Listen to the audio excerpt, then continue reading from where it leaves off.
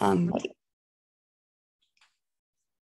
well, it really is lovely to um, be with you again this evening and to be looking at Hosea chapter 11.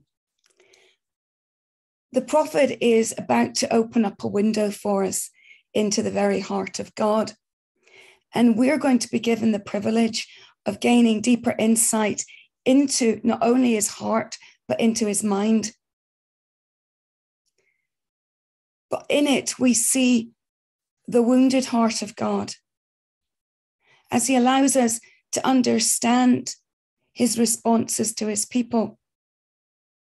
And of course, this insight should impact not only our own understanding of God, but also of our own lives in the way that we live before him. Because, like the hearers of this chapter, it should produce for us both a holy fear and reverence for God, but also become a source of hope. And I think ultimately that this chapter is also a lesson on grace. It begins with a reminder of the unique relationship Israel has with God. It's a relationship that is that of father to son and son to father. And you can divide this chapter into three clear sections the relationship, God's response to their sin, and then finally, God's promise of restoration. So, when we're looking at this relationship of sonship, the chapter opens with the Lord declaring that it was out of Egypt that he called his son. And we need to ask the question what is it that the Lord is challenging them to remember about their relationship with God? And what is it that they seem to have forgotten? This expression out of Egypt, I called my son, reminds us first and foremost of the Exodus from Egypt and the fact that the very first time that the Lord speaks of Israel his, as his son is at the commissioning of Moses. When the Lord instructs him to say to Pharaoh in chapter 4, verse 22 of Exodus, You will say to Pharaoh, Thus says the Lord of hosts Israel is my firstborn son. And we discover more about this relationship of sonship and fatherhood in the book of Deuteronomy.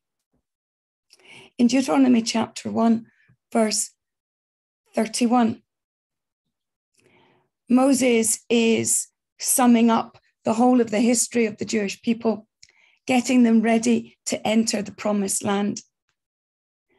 And he reminds them that in the wilderness, you saw how the Lord your God carried you as a man carries his son all the way that you went until you come to this place. In both the Exodus verse and this verse from Deuteronomy chapter 1, the fatherhood of God is related to God's redemptive purpose for Israel. But it also is connected to his covenant, the covenant that stretches all the way back to Abraham in chapter 12 of Genesis. That from Abraham would come a nation, a great nation, a nation ultimately that was formed in the crucible of Egypt and constituted at the foot of Sinai. As we move through Moses' summation in Deuteronomy, he both reminds them and teaches them some important truths, vital truths that they need to remember and acknowledge them. So he asks them to consider a question at the very end in Deuteronomy 32, verse 6. Do you thus repay the Lord, you foolish, senseless people? Is he not your father who created you, who made you, and who established you?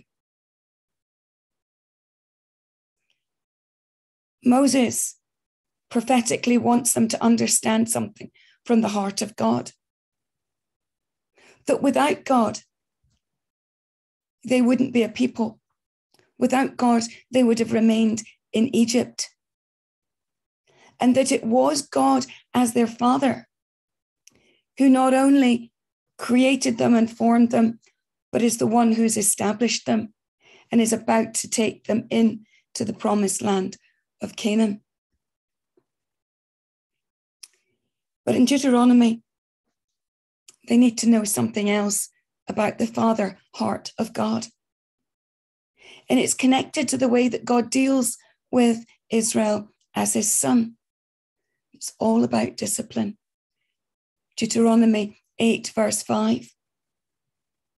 Know then in your heart that as a man disciplines his son, the Lord disciplines you. We reminded ourselves a few weeks ago that Hebrews 12 talks about discipline as the evidence of God's love, the evidence of our own sonship, and that ultimately it's for our good, so that we would have a share in his holiness and have the peaceable fruit of righteousness. But in Proverbs, we discover something else. This is an unusual one that discipline from the hand of God is actually a reflection of his delight in us. Proverbs 3:13 says, "The Lord disciplines those he loves, as a father the son he delights in." Perhaps the Lord's discipline in our lives and in his children is so that his delight in them would increase. In other words, he fits us to receive his delight. The loving heart of God ultimately will always want the best for his children. And that means that if he says he loves us, he must discipline us.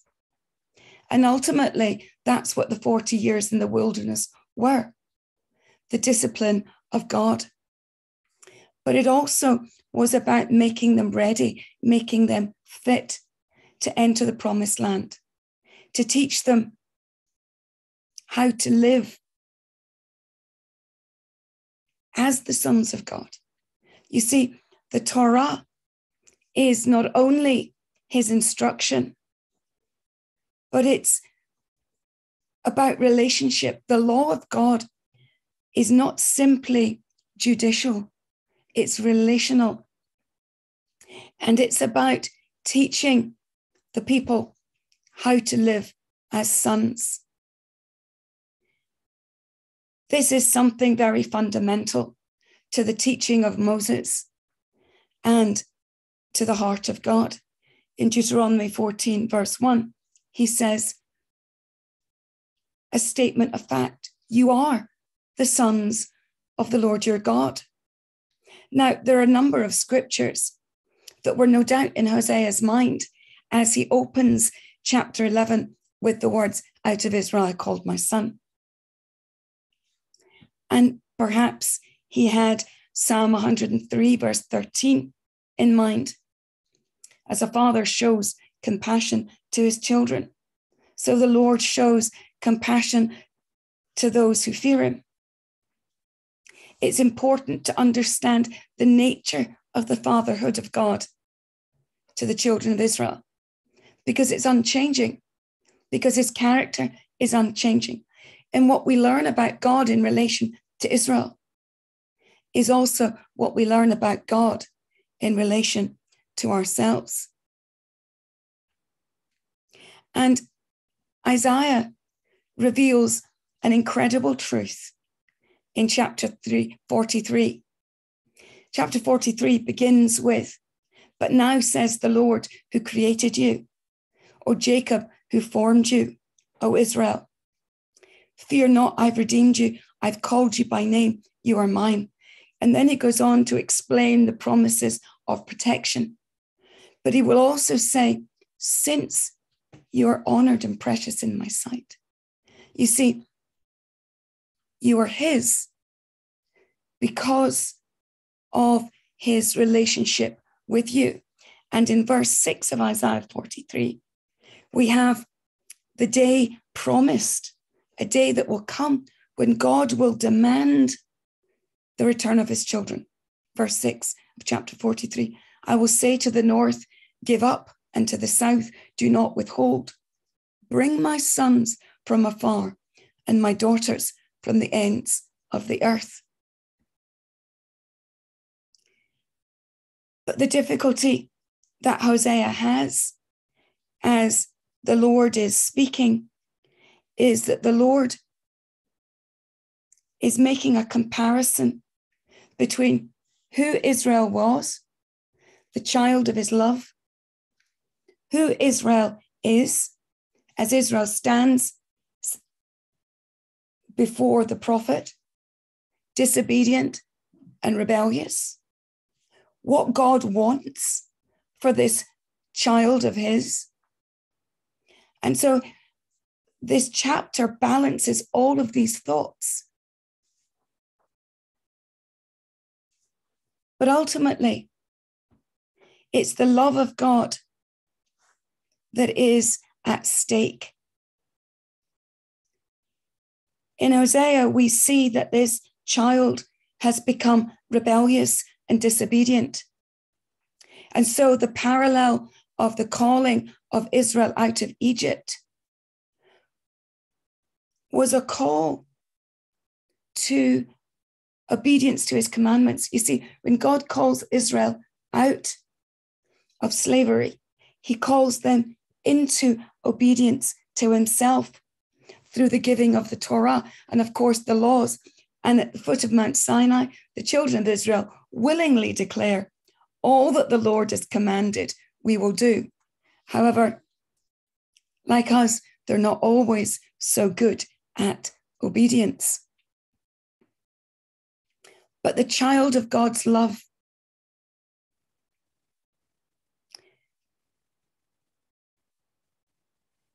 is the child that God wants to train in righteousness, the child that God wants to bless. There's a similar thought in Jeremiah chapter 3, verse 19, where we have the Lord speaking. I said, How I would set you among my sons and give you a pleasant land, a heritage most beautiful of all nations. Now listen to the heart of God as he continues. And I thought you would call me my father, and that you would not turn from following me. And again, what we're listening to is the longing of the heart of God, longing for relationship with his children, longing that they would follow him and not turn away.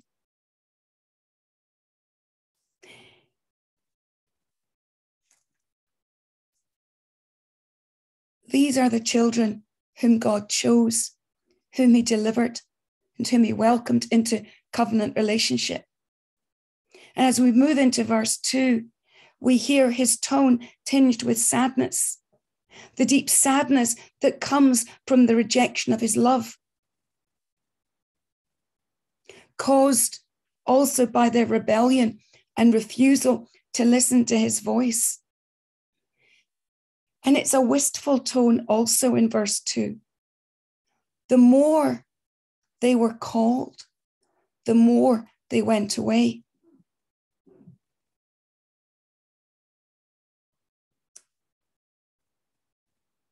Can you hear that in God's voice? It's almost if He say, The more I called to them, the more they went away from me. They keep sacrificing to the Baals and offering burning offerings to the idols. He describes this behavior in verse 7 as his people are bent on turning away from him. It's almost as if the personality of his people is twisted so that they can't walk the straight line that walking according to his laws demands. They keep veering away. Reminds me of the joke about the haggis. And the haggis, according to some, has two legs that are shorter than the other two. And it's the inside legs that are shorter than the outside. And that's so that when it walks, goes up the mountain, it won't fall over the side. But ultimately, if your legs are different length, you, you can't walk straight. And this is, in a sense, what God is saying to them. It's almost as if there's an unevenness within them that causes them to continually move away from his love and to continually close their ears to his voice. It seemed that no matter how often God sent them a word, no matter how often the prophets came and challenged them, it seems as if the more God speaks, the further they go. They continue to reject both his love and his voice. But he reveals in verse 3 that he was the father who carried them, the father who taught them how to walk. It seems to me that the more love the Lord showed them, the more they rejected him. Nothing seemed to be good enough. So that the people would continually choose the Baals over him. They continually chose false gods, made alliances with foreign nations. They took his blessings for granted like ungrateful children, and they failed to acknowledge from where they came, they become blind to his love. And I wondered about my own life. And I guess I posit this question not only to myself, but to all of us. How often do we fail to recognize the loving hand of God in our lives? How often have we, do we, and will we reject his voice in favor of our own selfish desires? It's the battle between the flesh and the spirit. The Apostle Paul said, I, Paul, do what I, Paul, don't want to do. In other words, this internal battle leads us astray. Verse 4 is really interesting because in it we have a description of God that if we pair it with Psalm 32, verse 9, it will make even more sense. But first, let's look at the description of God as he leads his people with tender hearted love, wooing them and drawing them on the journey from Egypt to Canaan. And he's about to describe in verse 4 one of these acts that demonstrate his tender care. And it, he's described as the one in verse 4 who eases the yoke from their jaws and that he bent down to feed them. He's the one from heaven who humbles himself to feed them. And he's the merciful master who cares for his oxen and mules by not allowing the yoke to cut into them and to chafe them. So he lifts it. There is another explanation also that the yoke must be lifted in order for them to be able to bend down to eat the food that he has put down for them. Now, if we take that alongside Psalm 32, verse 9, the psalmist challenges the people of Israel not to be like the horse or the mule without understanding, which must be curbed with the bit and the bridle, or it will not stay near. For the psalmist, the bit and the bridle are something with which the owner manages to control the behavior of his animal. But the bit and the bridle was also the, the means by which the owner can direct the animal in the way that it should go. Think back to my years as a, as a teenager riding horses, and just with a gentle movement of your hand on your reins, you're telling the horse to move to the right or to the left or to continue straight ahead.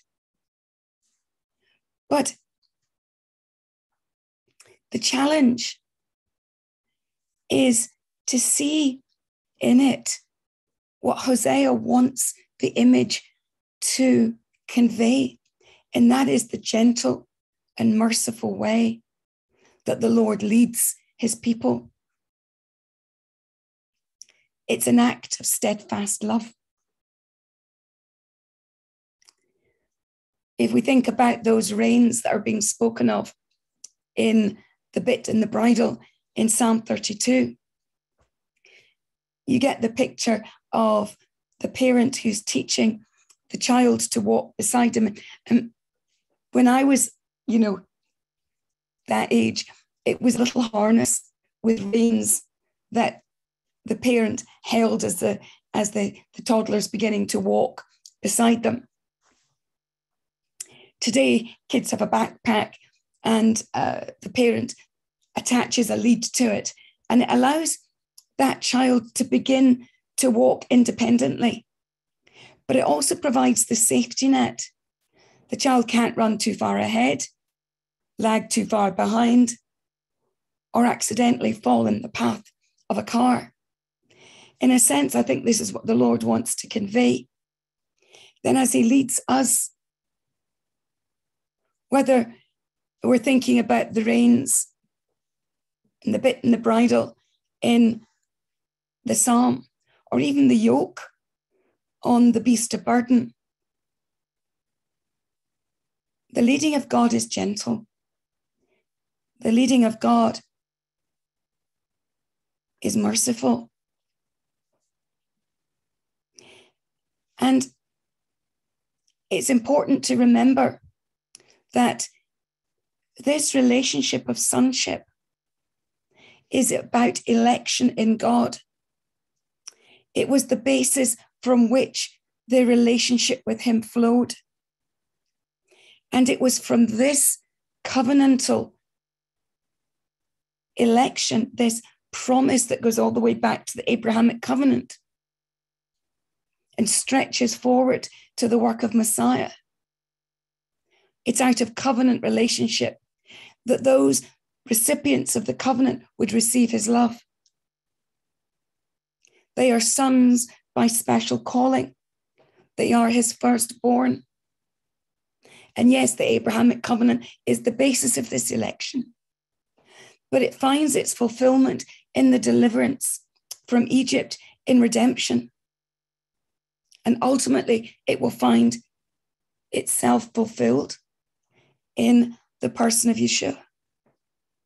We see this in Matthew 2, verse 14 to 15 we read that he rose and took the child and his mother by night and departed to Egypt and remained there until the death of Herod. This was to fulfill what the Lord had spoken by the prophet Out of Egypt I called my son. As we move beyond verse 4, we become not only concerned with the fatherhood of God and the sonship of Israel, but we begin to have a glimpse into what the discipline of God looks like. And the exile is pictured as the discipline of God. Now, because the children of Israel have rejected God and his ways, they will have to reap the consequences. And it's because God called them out of Egypt that he will not allow them to return to Egypt. So the exile will take place in Assyria. They've lost the blessing of God and must discover for themselves what a life without God looks like.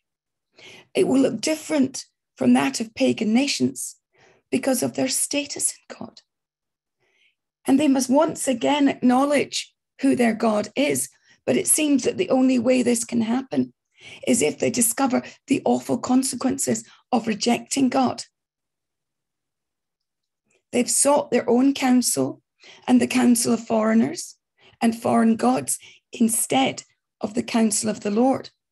So the Lord threatens rejection of them and promises destruction of their towns and cities. We see that in verse 6. And in verse 7, we have the ultimate warning of God's rejection. He will no longer pick them up if they fall, even if they call out to Him. It's too late. They are bent on backsliding, as some of the modern translations put it, slipping back into idolatry and apostasy. The writer of the book of Hebrews warns of a similar danger in chapter 12 and verse 15. See to it that no one fails to obtain the grace of God, that no root of bitterness springs up and causes trouble. And by it, many will become defiled. In Hebrews 12, there are many warnings warnings of apostasy, warnings against failing to obtain the grace of God. The Lord was saying to them that He was going to send them back to the state in which He called them out of, and that is slavery. It's bondage. And the exile is a return to that experience to remind them where they came from and what the Lord had done them, and ultimately to bring about repentance. I think there are times for all of us when the Lord looks at our backsliding and our disobedience and allows us to return to that place of bondage in order to bring us also to our knees and to repentance. And this is what's so amazing about chapter 11. The story doesn't end there, it moves on to consider the mercy, the loving kindness of God, His grace. For no matter how angry God gets with Israel, no matter how deserving his people are of discipline, of punishment, and of judgment. And even though he is completely threatened to disavow them, he cannot. He cannot for a number of reasons. He must be faithful to his word. In other words, God cannot rescind his promises. But this chapter is also teaching us that ultimately his anger is greater. His love is greater than his anger. Get that round the right way, Fiona. But we also see that mercy triumphs over judgment. So he says that he cannot do what he did to Sodom and Gomorrah, to Admah and Zeboim, when he destroyed them in his anger. If you go back to Deuteronomy chapter 29, verse 23, we read this The whole land burned with brimstone and salt, nothing sown and nothing growing, where no plant can sprout. An overthrow like that of Sodom and Gomorrah, Admah and Zeboim, which the Lord overthrew in his anger and wrath. It's worth remembering the location, the geographical location of Sodom and Gomorrah. It is in that area of the Dead Sea, that land that is barren, where nothing lives.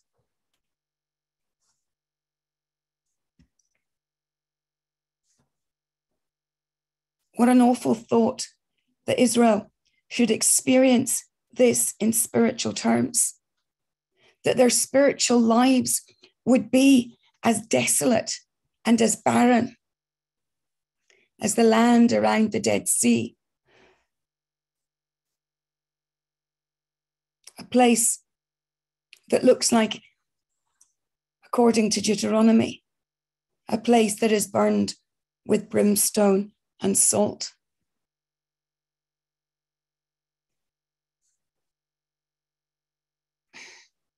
And yet, as the Lord is looking upon his people, those whom he's threatened such awful impending judgment upon. It would seem that he can't do it. He cannot destroy his people because it would cause him too much pain. His compassion is aroused, and compassion flows out of his love for them and he declares that he is God. He's not a man. In other words, he is holy. He will not come with wrath. He will not act out of pain and rejection, but will act in line with his word and his promises. And he will bring about what he has promised He's going to make a way possible for his people to walk with him, to respond to him. He makes a similar glorious uh, promise in Jeremiah chapter 3, verse 17, where he says, At that time, Jerusalem will be called the throne of the Lord. All of the nations shall gather to it, to the presence of the Lord in Jerusalem, and no more will they stubbornly follow their own evil hearts. And in verse 10, here in the book of Hosea, chapter 11, we see what God is going to do. He says that he will roar. He's going to roar like a lion. And when he does so, his people will come trembling. As any zookeeper will tell you, there's an element of elemental fear that when a lion roars, it gets you in the pit of your stomach. You can't really hear the roar of a lion and not be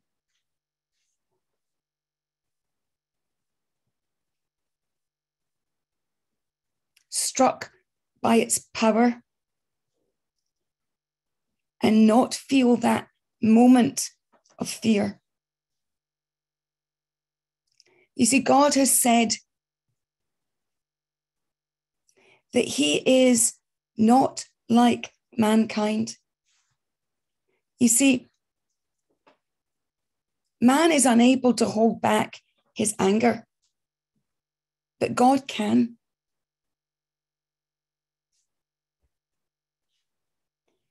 And what God is promising is reconciliation. And that is one, we only have to look at what's happening at the moment in uh, Russia with the Ukraine. The nations are trying to bring about peace and reconciliation. And yet, Russia stubbornly is out to restore what Russia believes Russia has lost. and that is territory and land. And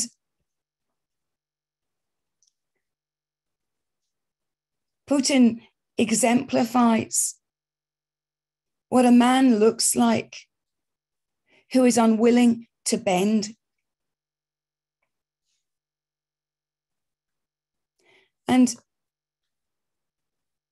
when we think about mankind,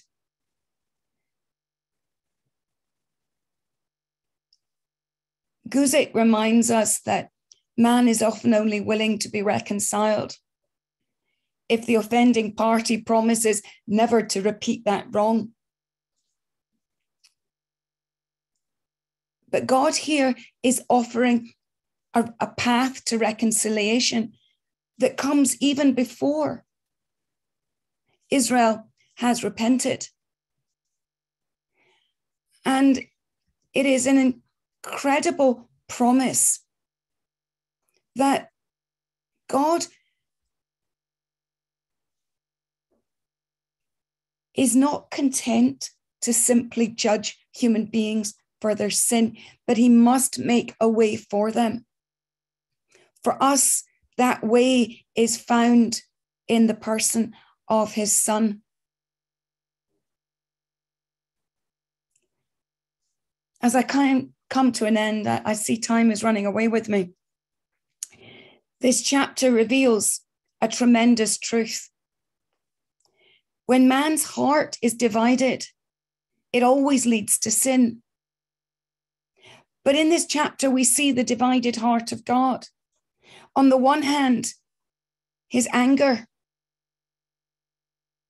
over the sin of his people that leads to the need for judgment. And on the other, his love When God's heart is divided, it leads to mercy. Because when his heart is divided, his mercy will triumph over his judgment. We see this in his son. The judgment for sin is death. That's what Paul says. The wages of sin is death. But because of God's love, he sends his son to bear that judgment so that we might receive mercy. And this is why this chapter ultimately is all about grace. It's about the loving kindness of God towards human beings. And it ends with a picture of tenderness in verse 11. They will come trembling like birds from Egypt, like doves from the land of Assyria, and I will settle them in their homes.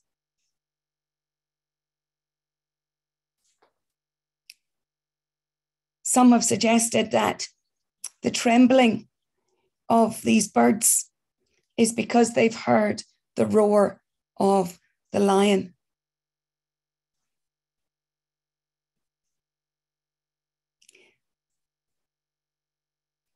And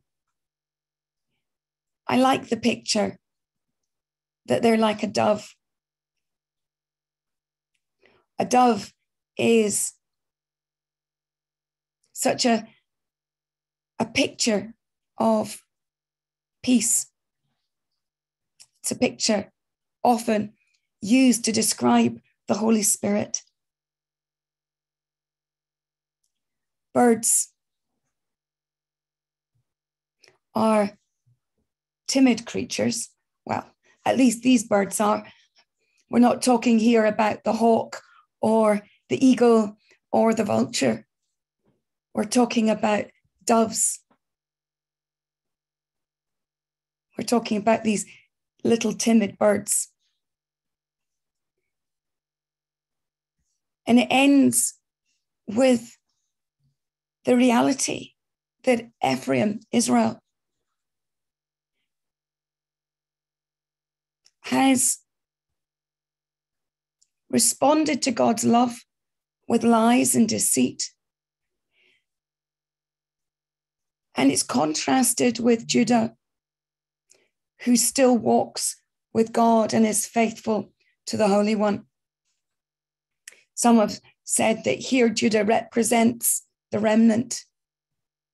Others are talking about the, the, the history of when the north split from the south, and we have the northern and the southern kingdom. And initially in the southern kingdom, they continued to worship God, whereas in the northern kingdom, they moved very quickly away into sin and idolatry. However, you take this verse, let's look to the heart of God in this chapter because it's a source of hope. You see, the relationship of child is a relationship that's meant to be a source of hope, a source of encouragement, because of all of the things that God has said throughout scripture about his relationship with Israel as a child. So I'm hoping that tonight, as we um, end this talk on Hosea chapter 11, that it gives us a little bit of insight into the heart and mind of God, how he thinks and how he responds, but also challenges us about our own walk with God. And ultimately, draws us closer to him, that we would not need the discipline of God. And ultimately, you see, God has given us everything we need in the person of the Spirit of God to shape us, to lead us, to guide us. What more could we want or ask for? Amen.